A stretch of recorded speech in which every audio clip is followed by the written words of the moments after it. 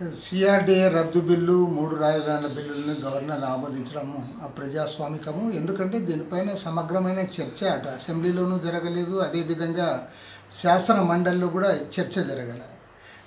గతంలో శాసన మండలిలో చర్చ జరిగిన నేపథ్యంలో అప్పుడైతే సెలెక్ట్ కమిటీకి పంపడం జరిగింది. సెలెక్ట్ కమిటీలో ఉందని చెప్పి సాక్షాత్తు ప్రభుత్వం తరఫున అడ్వకేట్ జనరల్ ఆయన హైకోర్టులో కూడా చెప్పడం జరిగింది. మరి ఈరోజు మెజా అసెంబ్లీలో మెజారిటీ ఉందనే పేరుతో తమ ఇష్టారాజ్యంగా వాళ్ళు బిల్లులు తయారు చేస్తే ఆ బిల్లులు శాసన మండలిలో కూడా చర్చకు కూడా నోచుకోకుండా దాన్ని వాళ్ళ గవర్నర్ ఆమోదించడం ఏ రకంగా కూడా సమంజసం కాదు.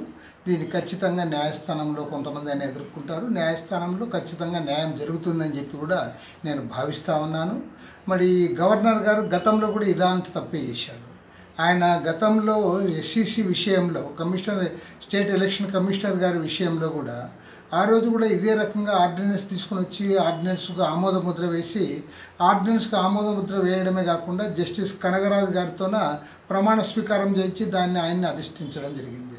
ఆ తర్వాత మళ్ళీ ఇప్పుడు హైకోర్టులో సుప్రీంకోర్టులో దానికి వ్యతిరేకంగా వచ్చిన తర్వాత మాత్రమే మళ్ళీ ఇప్పుడు రమేష్ కుమార్ గారిని ఇవాళ పునర్నియమిస్తా ఉన్నారు. కాబట్టి అంటే గవర్నర్ గారు ఈ ప్రభుత్వం చేస్తున్న తప్పులకు ఆయన బ్లైండ్గా ఆమోదముద్ర వేస్తూ ఉన్నాడు తప్ప మరొకటి కానే కాదు. ఇది ఏ రకంగా కూడా సమంజసం కాదు. అదేవిధంగా ఇవాళ భారతీయ జనతా పార్టీ యొక్క వ్యవహారాన్ని కూడా అనుమానించే పరిస్థితి వస్తూ ఉంది.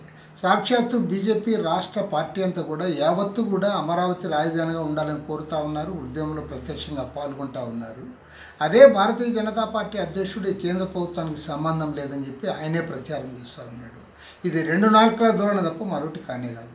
ఒక రాజకీయ పార్టీగా మనం ఏదైనా ఒకటి చెప్పినప్పుడు దానికి స్టాండ్ కావాలి. నీవు ఇక్కడ కావాలంటున్నావు ప్రత్యక్షంగా ఉద్యమాల్లో పాల్గొంటా ఉన్నావు. మళ్ళీ అక్కడ ఢిల్లీ గవర్నమెంట్ ఢిల్లీలో ఎవరున్నారు? మీరే అధికారంలో ఉన్నారు. సెంట్రల్ గవర్నమెంట్కి సంబంధం ఎందుకు లేదని నేను అడుగుతా ఉన్నాను.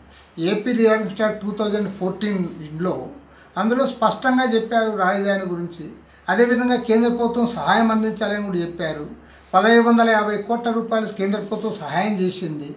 ప్రధాని నరేంద్ర మోడీ గారు కూడా అందులో this is Trisha. I'm Radhika Apte. వస్తాను కృష్ణమూర్తి నేను ఆలీ మాట్లాడుతున్నాను You're watching E3 Media Network. E three media network E three media network E3 Media Network. E3 means entertainment entertainment, entertainment.